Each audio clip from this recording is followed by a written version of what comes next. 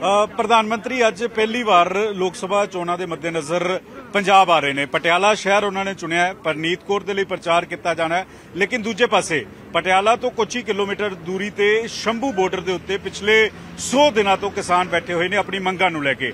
ਜਦੋਂ ਅੱਜ ਪ੍ਰਧਾਨ ਮੰਤਰੀ ਪਹੁੰਚ ਰਹੇ ਨੇ, ਤਾਂ ਉਸ ਵੇਲੇ ਉਹਨਾਂ ਦਾ ਇਹ ਕਹਿਣਾ ਹੈ ਕਿ ਅਸੀਂ ਪ੍ਰਧਾਨ ਮੰਤਰੀ ਤੋਂ ਸਵਾਲ ਪੁੱਛਣੇ ਨੇ ਇਸ ਵਜ੍ਹਾ ਕਰਕੇ ਪੰਜ ਜਥਿਆਂ ਦੇ ਵਿੱਚ ਕਿਸਾਨ ਲੀਡਰ ਤੇ ਉਹਨਾਂ ਦੇ ਸਾਥੀ ਜਿਹੜੇ ਨੇ ਉਹ ਸ਼ੰਭੂ ਬਾਰਡਰ ਤੋਂ ਥੋੜੀ ਦੇਰ ਚ ਰਵਾਨਾ ਹੋਣਗੇ ਤਸਵੀਰਾਂ ਦੇ ਜ਼ਰੀਏ ਮੈਂ ਦਿਖਾਣਾ ਚਾਹੂੰਗਾ ਇਸ ਵੇਲੇ ਪੁਲਿਸ ਕਿਸ ਤਰੀਕੇ ਦੇ ਨਾਲ ਤੈਨਾਤ ਹੈ ਕਿਉਂਕਿ 6000 ਤੋਂ ਵੱਧ ਪੁਲਿਸ ਮੁਲਾਜ਼ਮ ਜਿਹੜੇ ਨੇ ਉਹ ਪਟਿਆਲਾ ਅ, ਇਲਾਕੇ ਦੇ ਵਿੱਚ ਤੈਨਾਤ ਨੇ ਔਰ ਸਿਰਫ ਪੰਜਾਬ ਪੁਲਿਸ ਹੀ ਨਹੀਂ ਬਲਕਿ paramilitary force commando SPG ਇਹ तमाम ਫੋਰਸਿਸ ਜਿਹੜੀਆਂ ਕਿਉਂਕਿ ਪਿਛਲੀ ਵਾਰ ਜਦੋਂ 2022 ਵਿਧਾਨ ਸਭਾ ਚੋਣਾਂ ਦੇ ਦੌਰਾਨ ਫਿਰੋਜ਼ਪੁਰ ਦੇ ਵਿੱਚ ਪ੍ਰਧਾਨ ਮੰਤਰੀ ਆਏ ਸੀ ਤਾਂ ਉਹਨਾਂ ਨੂੰ ਆਪਣੀ ਰੈਲੀ ਕੈਨਸਲ ਕਰਨੀ ਪਈ ਸੀ। ਉਸ ਵੇਲੇ ਵਿਰੋਧ ਪ੍ਰਦਰਸ਼ਨ ਕਾਫੀ ਦੱਬ ਕੇ ਕਰਨਾ ਪਿਆ ਸੀ। ਸਿੱਧੂ ਨੂੰ ਕਹੂੰਗਾ ਪੁਲਿਸ ਦੇ ਬਿਲਕੁਲ ਪਿੱਛੇ ਦੀਆਂ ਤਸਵੀਰਾਂ ਦਿਖਾਓ ਕਿ ਕਿਵੇਂ ਟਰੱਕ ਜਿਹੜੇ ਨੇ ਉਹ ਲਗਾਏ ਗਏ ਨੇ ਸਿਕਿਉਰਿਟੀ ਦੇ ਪਰਪਸ ਤੋਂ ਤਾਂ ਕਿ ਜੇਕਰ ਜ਼ਿਆਦਾ ਤਦਾਦ ਦੇ ਵਿੱਚ ਕਿਸਾਨ ਆਉਂਦੇ ਨੇ ਤਾਂ ਇਸ ਤੋਂ ਅੱਗੇ ਨਹੀਂ ਜਾਣ ਦਿੱਤਾ ਜਾਏਗਾ। ਹਾਲਾਂਕਿ ਕਿਸਾਨ ਇੱਥੇ ਰੁਕਣਗੇ, ਇਸ ਤੋਂ ਅੱਗੇ ਨਹੀਂ ਜਾਣਗੇ, ਲੇਕਿਨ ਪੁਲਿਸ ਦੇ ਵੱਲੋਂ ਪੁਖਤਾ ਇੰਤਜ਼ਾਮ ਕੀਤੇ ਹੋਏ ਨੇ। ਪੂਰਾ ਪਟਿਆਲਾ ਜਿਹੜਾ ਵਾ, ਉਹ ਛੋਣੀ ਦੇ ਵਿੱਚ ਤਬਦੀਲ ਕੀਤਾ ਹੋਇਆ। ਉਹ ਦੇਖੋ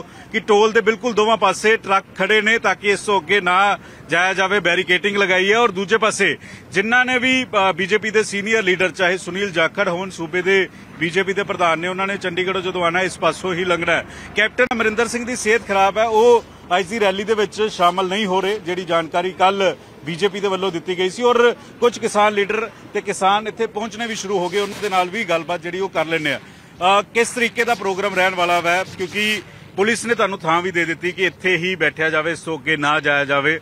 ਕੀ ਹੁਣ ਰੋਡ ਮੈਪ ਤੁਹਾਡੇ ਵੱਲੋਂ ਹੈ? ਸਾਡੇ ਸੀਨੀਅਰ ਲੀਡਰ ਆ ਰਹੇ ਜੋ ਜੋ ਪ੍ਰੋਗਰਾਮ ਹੋਊਗਾ ਦੱਸਣਗੇ ਜੀ। ਹਾਂ। ਆ ਪ੍ਰਧਾਨ ਸਾਹਿਬ ਪੰਜਾਬ ਦੇ ਜੀ ਇਹਨਾਂ ਨਾਲ ਗੱਲ ਕਰੋ। ਕਿਸ ਤਰੀਕੇ ਨਾਲ ਇਸ ਤੋਂ ਅੱਗੇ ਜਾਣ ਦੀ ਕੋਸ਼ਿਸ਼ ਹੋਏਗੀ ਜਾਂ ਇੱਥੇ ਹੀ ਬੈਠ ਕੇ ਆਪਣਾ ਵਿਰੋਧ ਪ੍ਰਦਰਸ਼ਨ ਕੀਤਾ ਜਾਏ ਅਜੇ ਸਾਡਾ ਕੋਈ ਫਿਲਹਾਲ ਫੈਸਲਾ ਨਹੀਂ। ਅਸੀਂ ਤਾਂ ਸਿਰਫ ਇਸ ਗੱਲ ਤੇ ਅੱਜ ਮੋਦੀ ਨੂੰ ਸਵਾਲ ਕਰਨ ਆਏ ਆ ਵੀ 700 ਸਵਾ 700 ਕਿਸਾਨ ਦਿੱਲੀ 'ਚ ਮਰ ਗਿਆ।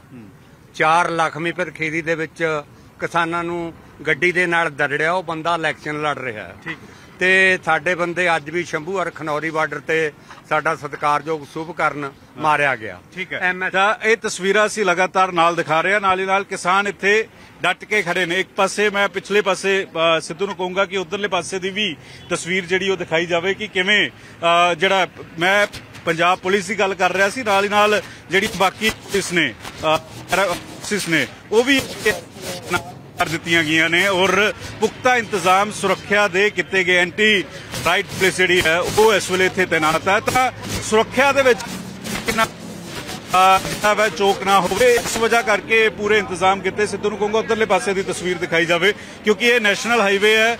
ਰਾਜਪੁਰਾ ਤੋਂ ਪਟਿਆਲਾ ਹੁੰਦਾ ਹੋਇਆ ਬਠਿੰਡਾ, ਸੰਗਰੂਰ ਇਹ ਹਾਈਵੇ ਜਾਂਦਾ ਵੈ।